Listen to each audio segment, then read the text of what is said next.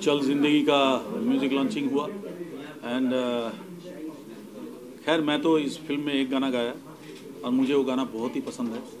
और बहुत ही मेलोडियस गाना है। अमन का म्यूज़िक है एंड विवेक का लिरिक्स है। एंड तीन महीने से लोग वेट कर रहा था उस गाने के लिए विवेक ने। तो मेरे को फ़ोन किया एंड बोला कि भाई आ, ये गाना आपको ही गाना पड़ेगा। Otherwise I am not going to record this song तो मैंने बोला, गाना भेजो। पहले गाना मेरे को पसंद आए तो मैं गाऊँगा। तो गाना उन्होंने भेजा, गाना सुनते ही मेरे को पसंद आया एंड मैंने गा दिया गाना। एंड पता चला बाद में कि संजय सर के ऊपर ये गाना पिक्चराइज किया गया। But I know nothing about this picture picture is good सुना मैंने एडवेंचर है एंड जर्नी है। But it's okay I am happy कि आज म्यूज़िक लॉन्चिंग हुआ। इस पिक्चर में सारे गाने अच्छे हैं। सबसे बड़ी बात है, आज के दिन में एक फ़िल्म में सारे गाने अच्छे होना बहुत रेयर बात हो गया। अभी के ज़माने में।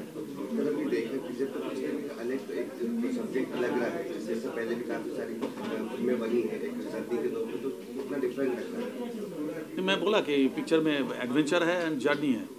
और हर एक का अलग अलग स्टोरी है। उसके ऊपर काम हो रहा है जर्नी चल रहा है साथ में स्टोरी गो कर रहा है। अच्छा अच्छा।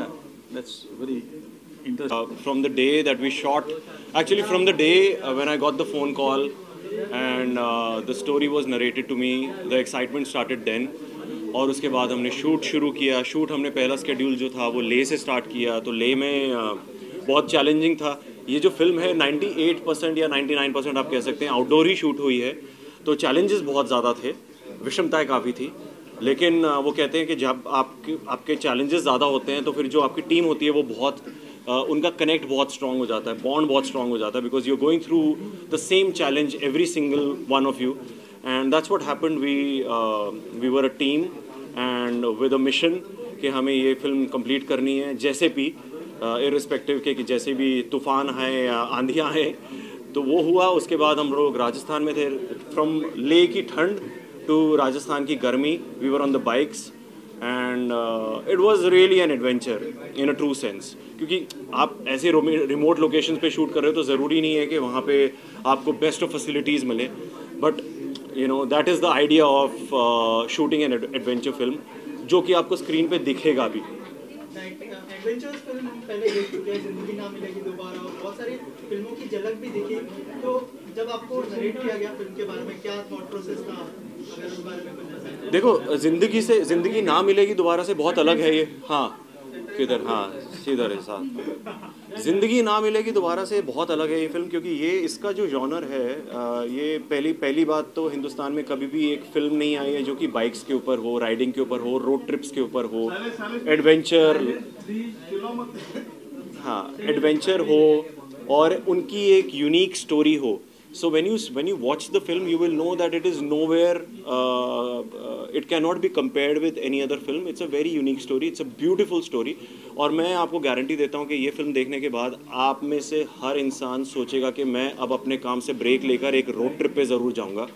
और एक्सप्लोर uh, करूँगा नेचर वो भले ही बाइक के ऊपर हो या गाड़ी पे जैसे भी आपको ठीक लगे।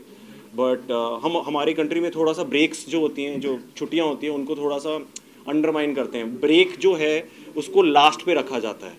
उसका, उसको प्रायोरिटी नहीं रखा जाता। बट ब्रेक्स बहुत इंपॉर्टेंट है। क्योंकि उसी के बाद आपकी प्रोडक्टिविटी इंप्रूव होती है। आप आप आपको एक नया नज़रिया मिलता है, एक नया पर्सपेक्टिव मिलता है।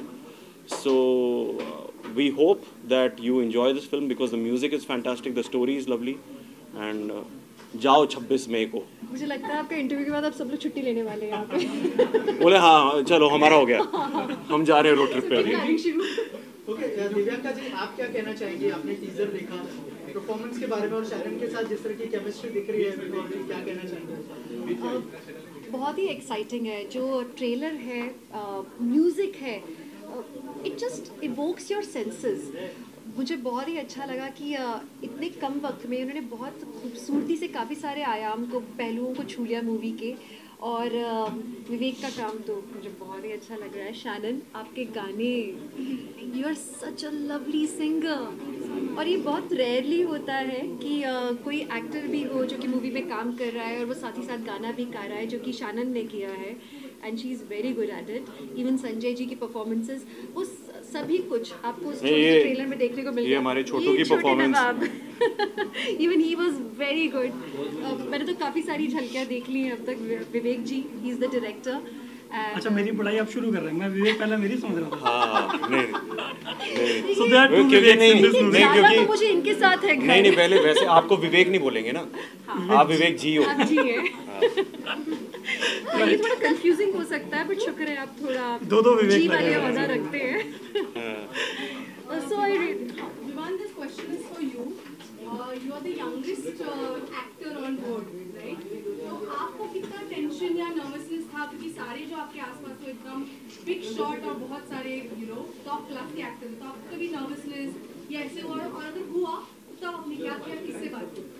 आगे आ जाइए कैमरा आपको देख लिया माइक तो नर्वसनेस तो ऑब्वियसली होगी क्योंकि मेरे अराउंड सारे एक्सपीरियंस एक्टर्स थे जैसे ये बीडी और सानंदी और संजय मिश्रा सर मीता वशिष्ठ मैम तो बहुत सारे लोग थे एक्सपीरियंस इनको मुझसे बहुत ज़्यादा था। नर्वसनेस तो होगी बट ये मेरे डैड और मेरी मॉम ये लोग ने मेरे को बहुत सपोर्ट किया। और अ, मेरी मॉम ने मेरे को बेसिकली यू नो इस फ़ील्ड में डालने का सोचा कि है ना चलो एक बार ट्राई करो तुम अच्छा कर सकते हो। क्योंकि मैं हमेशा ड्रामा में पार्टिसिपेट करता था।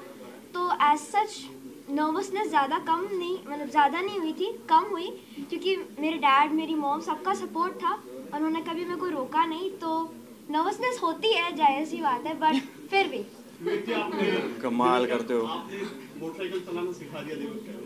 नहीं मोटरसाइकिल चलाना तो ये खुद सीखी है लेकिन हम अब साथ में जाते हैं ट्रिप्स पे और अब जब ये म्यूज़िक लॉन्च हो गया है तो हम चल ज़िंदगी के गाने सुनते सुनते जाएँगे उसमें और मज़ा आएगा। लूप पे चलेंगे गाने। काफ़ी इंस्पायर कर दिया आप लोगों ने मुझे। नहीं ऑनेस्टली ऐसा बहुत कम होता है कि किसी मूवी को देख के कोई इतना इंस्पायर हो जाए कि अपनी भी लाइफस्टाइल बदल दे। और आप लोग की मूवी में जब मैंने देखा इतने बाइक राइड कर रहे हैं सब लोग शैनन भी एंड तुम पिलियन थे पूरे टाइम बट मुझे पिलियन नहीं होना था। मुझे विवेक दया के पीछे बैठ के नहीं जाना था तो I thought why not inspired by them even I should तुम लर्न उसको राइटिंग उसको एंड मोटिवेट मत करो ऐसे वो कहेगा कि मैं भी पिलियन नहीं बनना चाहता ये थोड़े भी दिन जगह थोड़े दिन रुक जाओ अठारह के बाद you can do it all being a singer and actress, how did you manage both these talents together? कैसे manage किया um, manage manage ho gaya thanks to these amazing people behind me you know uh, yeah i you know start kiya tha journey zindagi as a singer and here i am with a movie chal zindagi so uh, first and foremost you know vivek sir um, the director ने एक spark देखा एक uh, you know passion देखा through the camera to the lens and you know he he asked me to audition so yeah I say like मेरी जिंदगी of acting start हुई and manage actually easy हो गया because I had everybody's support in this so yeah So this question is for the director Vivek sir. Uh, I wanted to know that shooting in in general also is a very artist task. Yeah. And उसके ऊपर से you selected a location at Leh Ladakh. Ji. So how difficult? I'm sure मैं easy तो पूछूंगी नहीं. So how ji. difficult was it to actually manage the entire cast and crew because you are literally like the father on set uh, when you're directing a movie. So how did you kind of manage your entire fam- professional family and what kind of challenges did you face and how did you overcome them? Challenges तो कोई भी काम करते हैं तो उसमें होते ही हैं बट इसमें जो चैलेंज का लेवल था वो एक्सट्रीमिटी में था, क्योंकि हमको बहुत सारी चीज़ों से लड़ना था। सबसे बड़ा क्लाइमेट जो था, लेह लद्दाख का जो क्लाइमेट है और शुरुआत हमने वहाँ से की है। नए नए लोग, मैं बिल्कुल नया बंदा। हालाँकि मेरे साथ में जो एक्सपीरियंस लोग जुड़ गए थे, संजय सर, विवेक दहिया, शैनन, ये लोग सबने टीम अप किया एंड वो एज ए टीम हमने फाइट किया अगेंस्ट ऑल ऑट्स हम लोग शूट कर रहे होते थे एंड एकदम से तूफ़ान आ रहा है कभी स्नोफॉल हो रहा है। सो so, बहुत un- अ, मतलब आप कहते हैं ना बहुत कंडीशन जो थी वो आउट ऑफ़ कंट्रोल वाली थी। But eventually we made it बहुत प्रॉब्लम्स आई एंड भगवान हमारे साथ था। सो so, और ये एक एक चीज़ और बोलना चाहूँगा मैं कि जनरली जो हिंदी फ़िल्म इंडस्ट्री में जो मूवीज़ बनती हैं तो मैं जब स्टडी कर रहा था मुझे लगता था कि 60 डेज़ 70 डेज़ 90 डेज़ कम से कम शेड्यूल होता है। हमने ये मूवी पूरी including travel we have completed in 30 days time frame 22 days में हमने शूट किया है and thirty days seven days हमारा ट्रैवल टाइम था। तो ये भी एक मैं समझता हूँ एक पूरा रोड पे जब अचीवमेंट है। राजस्थान से बॉम्बे से राजस्थान और पूरा हरियाणा पंजाब लेह लद्दाख सारी कंडीशंस को फाइट करते हुए हमने अचीव किया है in time frame of one month and वो भी हम लोग नए लोग होते हुए ये कर पाए। सो so, हमने बीट किया जो चैलेंजेस थे उनको you know, it's more realistic, um, more, more close to the heart. You know, it's got emotions, it's got, you know, adventure, it's got about just, you know, valuing life in general. So um, through this movie, I, I hope that, you know, it, it, we've tried to bring a little change, um, you know, to maybe to the Bollywood industry, and maybe after watching this movie, we'll get to see more movies alike, you know, similar to these that are, that are which are more about, you know, real life, about small happiness, about, you know, just being motivated to live your life. So yeah. विवेक भी जवाब देंगे इस, इसका yes विवेक मेरा भी test है You're next. तुम Hari is answering his या या या नहीं जाना तो जाओ कोई बेसिकली यार uh, जैसे शानन ने कहा I think I support her completely I second everything that she said nervousness हमारी सबकी फ़र्स्ट फ़िल्म है. Um, और जनरली आप किसी से भी बात करोगे ऐसी सिचुएशन में वो नर्वस होंगे बट मुझे नर्वसनेस नहीं हो रही पता नहीं क्यों. शायद इसलिए क्योंकि हमें uh, भरोसा है अपने प्रोडक्ट पे. Uh, ये यूनिक है नेवर अटेम्प्टेड बिफोर है और uh, uh, कुछ अच्छा एक अच्छे बहुत ही पॉजिटिव माइंडसेट के साथ हमने ये फ़िल्म बनाई है. बहुत अच्छी इंटेंशन है हमारी. सो नर्वसनेस नहीं हो रही है. We are very positive that people will like it I think you know that's what what the saying is कि अगर आप शिद्दत से कुछ बनाओगे uh, तो वो ट्रांसलेट होता है स्क्रीन पे and then eventually gets converted to the love of the audience Thank you, thank you audience से कहना चाहूँगा कि 26 मई को ये मूवी रिलीज़ हो रही है इन सिनेमास सो सब लोग छोटे बच्चे से लेके और घर में दादा दादी नाना नानी सब लोग देखने जाए मूवी है। Because it's a slice of movie slice of life जो होता है ना एक ज़िंदगी की एक परत है इस मूवी में। हम लोग बहुत सारी चीज़ें छोड़ते चलते हैं पीछे लाइफ में आगे बढ़ते रहते हैं। बहुत सारे कॉम्प्रोमाइज़ करते हैं। सो so, ये वो कॉम्प्रोमाइज़ जो हम कर चुके हैं उनको रिलीव करने का एक बेस है इस मूवी चल ज़िंदगी में। सो so, लाइफ चलती रहनी चाहिए रुकनी चाहिए इसलिए चल ज़िंदगी। सर अगर स्टारकास्ट की बात करें ऐसा लगता है परफेक्ट इसी फ़िल्म के लिए बनी है स्टारकास्ट तो थोड़ा सा बताइए कि कितना कन्विंस करना पड़ा संजय सर को और अमिता मैम को ऑन बोर्ड लाने के लिए और विवेक जी। जो टीवी में एक बड़ा नाम है। देखिए पहली बात तो मैं एक बिल्कुल नया राइटर हूँ डायरेक्टर हूँ फ़र्स्ट टाइमर हूँ मैं। एंड जब मैंने स्क्रिप्ट लिखी थी तो संजय सर का बिल्कुल साचा दिमाग में बना हुआ था कि एक एक मेरे को मिडिल क्लास आदमी जो लाइफ में बहुत कुछ पीछे छोड़ रहा है छोड़ चुका है। और वो वापस रिज्यूनेट करता है और कैसे वो लाइफ रिलीव करते हैं। तो संजय सर का तो बिल्कुल फिट था बट मैं डाउटफुल था कि क्या पता है मैं नया बंदा हूँ वो मुझे एंटेन करेंगे नहीं करेंगे। एंड uh, मैं उनके पास गया स्क्रिप्ट लेके तो मुझे उनके मैनेजर ने बोल दिया था कि अगर संजय सर दस मिनट में उठ के चले जाए ना तो आप समझ लेना बाय बाय सो मैं उनको स्टोरी नरेट कर रहा था वो सुनते रहे। 45 मिनट्स तक सुना उन्होंने एंड देन वो उठ के गए दूसरे रूम में। तो मुझे लगा कि शायद हो गया बाय बाय थोड़ा लेट हुआ। थोड़ी देर में वापस आया, मैं बैग वैग पैक कर रहा था और आके उन्होंने कहा कि, विवेक, ये मूवी है ना, हम लोग वन गो में करेंगे। एक बार शुरू करेंगे, ख़त्म करेंगे। इट्स अ जर्नी सो उसको ब्रेक्स में नहीं करेंगे। और वो वो मेरे लिए बहुत बड़ा मोमेंट था कि उन्होंने फ़र्स्ट उसमें ओके किया। फिर मीता वशिष्ठ मैम को मैंने अप्रोच किया। उनको, अगर चीज़ अच्छी है ना तो मतलब शायद अमिताभ बच्चन को भी सुनाएँगे तो पसंद आएगी। और अगर डेट्स अवेलेबल होगी तो वो करेंगे। तो कंटेंट में हमारे बहुत दम था बिकॉज़ फ्रेश है। फिर शैनन जो है, वो शैनन जो है, वो यूएस में रहती है तो उसका कैरेक्टर भी ऐसा ही है। एक म्यूज़िक सीखने वाली स्टूडेंट है जो यूएस में रहती है और इंडिया आई हुई है म्यूज़िक एक्सप्लोर करने के लिए। तो वो एक रोड ट्रिप पे निकलती है। तो शैनन भी बिल्कुल फिट शैनन और संजय मिश्रा जी, ये दो लोग बिल्कुल परफेक्ट थे मेरे। मतलब उनको सोच के ही लिखा था मैंने। फिर उसमें जुड़ते गए लोग। Vivek Dahiya is an amazing actor TV की बहुत बड़ी पर्सनालिटी हैं। वेब सीरीज़ में ओटीटी में काफ़ी काम किया उन्होंने। और जैसा मुझे कैरेक्टर चाहिए था वो उनमें मिला।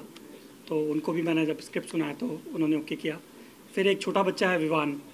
वो आ, उसका एक मुझे राजस्थान का एक फोक आर्टिस्ट चाहिए था जो खड़ताल बजाता हो गाना गाता हो। तो वो विवान में मुझे मिला। तो विवान इस तरह से जुड़ा। फिर और राकेश पांडे जी हैं विक्रम है। सो छह कैरेक्टर्स हैं जो पूरी मूवी में ट्रैवल कर रहे हैं तीन बाइक्स पे हार्ले डेविडसन पे। सो एक जर्नी है ये। जी। आप आप क्या कहना चाहेंगे मैं यही कहना चाह रहा हूँ कि कोशिश यही होगी कि 26 तारीख को पूरे सिनेमा हॉल फुल हो और हमारी यही इच्छा है कि हम आगे ऐसे ही बढ़ते रहे ज़िंदगी चलती रहे और विवेक जी का साथ रहा। तो फिर क्या कहना? Hundred percent. मैं मतलब पूरे मीडिया के सामने आज का ज़माना ऐसा है ना कि भाई भाई पे विश्वास नहीं करता। ये मेरे क्लाइंट हैं और मेरे भाई, मैं मानता हूँ इनको। And he supported me unconditionally कभी नहीं पूछा कि क्या, कैसे, बस। विवेक भाई बोलो, मैंने कहा, यस सर, ये ये इतना, ओके, डन। सो ये मतलब ऐसे बहुत कम लोग मिलते हैं लाइफ में, जहाँ पर एक दूसरे पे कोई बिलीव नहीं करता। ये मेरे लिए एक स्ट्रेंजर थे कुछ साल पहले and now is giving hundred percent to me लोग बहुत सारी फ़िल्मों से कंपेयर कर रहे हैं, ज़िंदगी ना मिलेगी दोबारा, जो कल्ट फ़िल्म है। हाँ नहीं, ये ज़िंदगी ना मिलेगी दोबारा जैसी फ़िल्म बिल्कुल नहीं है। ये हर लेवल पे एक फ़िल्म है जो गूढ़ सवालों को भी बहुत विनम्रता से जवाब देती है जिनका। एक्चुअली सवाल जवाब भी नहीं है इस फ़िल्म में। ये एक एक्सपीरियंस है और जो लोग माने जो भी कोई रोड ट्रिप पे निकल जाए, जो बस ज़िंदगी को, और बाइक्स पे यू नो बाइकर्स का अपना एक एक होता है। मेरे कई फ्रेंड्स हैं जो बाइकर्स हैं तो मैंने जाना है कि वो एक अलग ही स्पीशीज़ होते हैं। वो लोग कुछ प्लान नहीं करते, एक बार बाइक पे चढ़ गए तो कभी बनारस से निकले तो अगला फ़ोन कॉल नेपाल से आता है कभी कभी so it's a beautiful film it's a wonderful concept and I think Dev had a lot of fun मुझे लगा कि बस मुझे भी बाइक चलाने को मिलती तो मज़ा आ जाता। माई कैरेक्टर इज़ थोड़ा नॉस्टैल्जिक जो लीड संजय जी का जो कैरेक्टर है, उससे बहुत करीबी तरीके से जुड़ा हुआ है और वो ऑलमोस्ट फ़िल्म के आखिर में आता है। So it's a very special moment in the film and अभी उससे ज़्यादा मैं नहीं कहूँगी। So I like you to watch it thank you ma'am इसके अलावा क्या क्या मैसेज देना चाहेंगे जो ऑडियंस देख रहे हैं आपको उनके लिए? कोई मैसेज नहीं है फ़िल्म देखिए। फ़िल्म से प्रोत्साहन आ, लीजिए एंथुजियाज़म में चले जाइए अपने अपने खुद के जीवन को लेके। Enjoy your life every moment आपके जीवन का हर क्षण जीने के लिए बना है। और जैसे कि बहुत अच्छी तरीके से विवेक जी ने कहा कि रिटायरमेंट संजय ने कहा एक्चुअली कि रिटायरमेंट हम खुद को देते हैं रिटायरमेंट नाम की कोई चीज़ होती नहीं है। खास तौर से इंडिया में हम लोग बहुत जल्दी रिटायर हो जाते हैं कि अरे अब तो हमारा बेटा 25 साल का हो गया अब हमारा क्या? यू you नो know, ये एक टिपिकल डायलॉग है। या अब तो मेरा पोता हो गया है अब बेटी हो गई अब मेरे बच्चों की शादी हो गई अब हमारा क्या? यू you नो know, अब तो कोई मतलब नहीं है जीवन का। But that is not the concept लोग हैं जिन्होंने अस्सी अस्सी साल की उम्र में स्विमिंग सीखी है अपने आप को फिट रखते हैं। तो इस फ़िल्म का सबसे बड़ा मैसेज ये है कि आप कभी ना तो बुढ़ाते हैं। शरीर भले ही आपका जैसा भी हो आप दिमाग से बुढ़ाते हैं। तो दिमाग को हमेशा तरोताज़ा रखिए और यू नो चला चलते रहिए। ज़िंदगी चलने के लिए है रुकने के लिए नहीं है। आ, किसी भी मुकाम पे। थैंक यू विवेक एक बहुत ही बेहतरीन और कमिटेड आर्टिस्ट है। और उसे स्क्रीन पे देखने में हमेशा ही मज़ा आता है and I have known him for a couple of years तो I am hundred percent sure जो ये मूवी है, चल ज़िंदगी, आप लोग को देख के बहुत मज़ा आएगा and is a biker by by nature also and in fact वो इतने इंटरेस्टेड हैं बाइकिंग में कि उन्होंने दिव्यांका को भी एक बाइक दिला दी है. और मैं मैं खुद उनके साथ एक बार टाउन तक गया हूँ, जहाँ दोनों बाइकिंग कर रहे थे और मैं पीछे गाड़ी में जा रहा था because I am not a very good biker so for Vivek for for bikes for for the love of music you must watch the the film. So Vivek ने इस फ़िल्म के बारे में कुछ डिस्कस बिल्कुल भी नहीं किया है आज तक तो मेरे को विजुअल भी नहीं दिखाया सरप्राइज़ है मतलब पूरी तरह सरप्राइज़ है yeah. और कुछ कहना चाहेंगे आपके My- फ़ैन से विवेक के फ़ैन वेल मैं मैं यही कहना चाहूँगा it's a team of very talented people Sanjay sir Meeta ma'am Vivek you guys must see the film for these three and the music and the wadiyan of Leh and the biking. So yes, go out, have fun, watch the movie.